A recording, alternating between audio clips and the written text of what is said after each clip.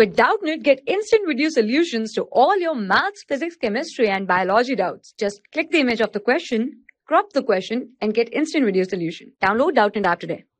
Hello everyone, in this question it is given that the adjacent sides of a parallelogram are 12 cm and 10 cm respectively.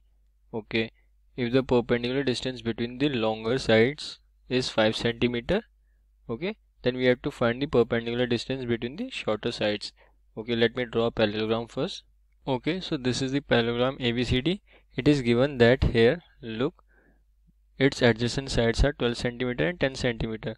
So this is longer side so it will be 12 centimeter this will be 10 similarly this will also be 12 and this will also be 10 okay now it is also given that perpendicular distance between longer side is 5 centimeter. So what is longer side? This one this AB and CD this is the longer side okay.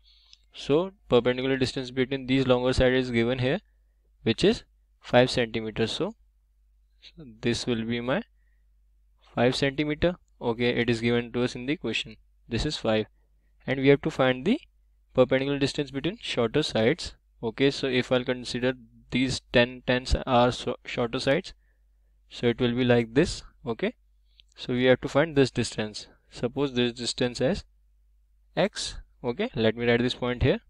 So we have considered shorter side as x. Okay now we know that area of parallelogram will be same either for this altitude or for this altitude.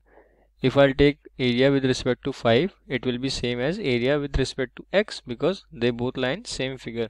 Okay so we know that area of parallelogram okay area of a parallelogram it is equals to base into altitude okay base multiply altitude. Okay now just put the values here.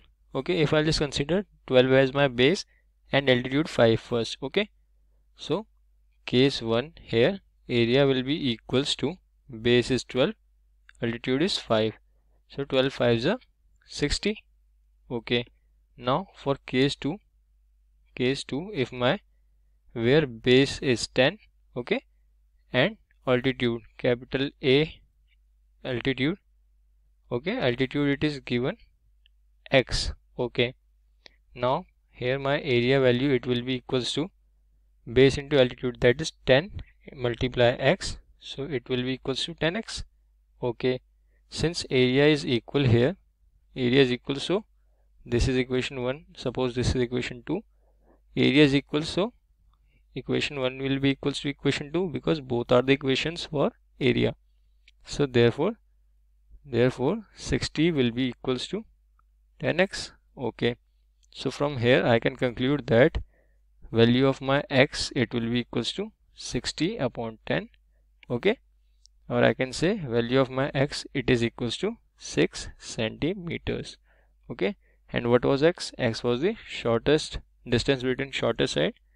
It is 6 centimeter here. Thank you For class 6 to 12, IIT JEE and NEET level.